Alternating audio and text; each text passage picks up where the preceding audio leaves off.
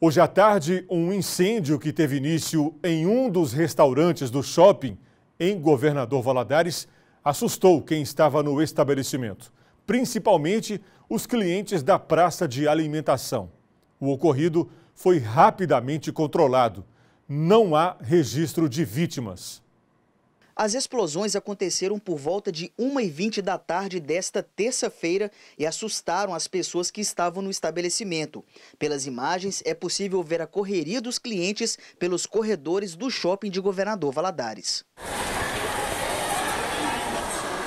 No restaurante, o incêndio gerou muita fumaça. Para garantir a segurança dos clientes e a contenção das chamas, as portas foram fechadas e o atendimento teve que ser interrompido. A causa pode ter sido um superaquecimento de um dos equipamentos do estabelecimento. Arthur estava almoçando com a namorada na praça de alimentação no momento das explosões no restaurante. O susto e a correria foram tão grandes que eles pensaram que poderia se tratar de algo muito pior.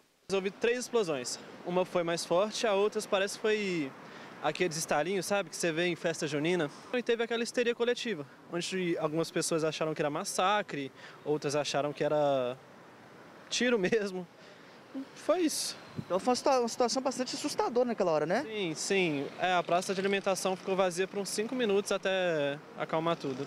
Segundo o shopping de Governador Valadares, a situação foi imediatamente controlada pelos funcionários, que acionaram a segurança e também a brigada de incêndio. Apesar do susto, ninguém se feriu. O capitão do Corpo de Bombeiros analisou as imagens e alertou que o pânico pode gerar consequências mais graves do que o próprio incêndio e deu dicas sobre o que fazer em situações como essa registrada no shopping. O principal é manter a calma.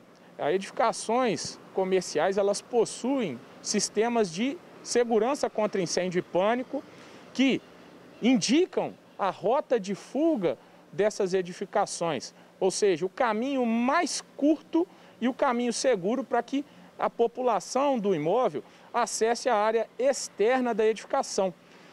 As pessoas que eventualmente né, depararem com o princípio de incêndio, mantenham a calma, procurem a saída mais próxima, se orientando aí pelas placas existentes no local, anunciem esse princípio de incêndio, a brigada de incêndio do local, caso exista, para que eles possam fazer aí o combate a essas primeiras chamas, evitando a evolução do incêndio e prossigam para essa área externa.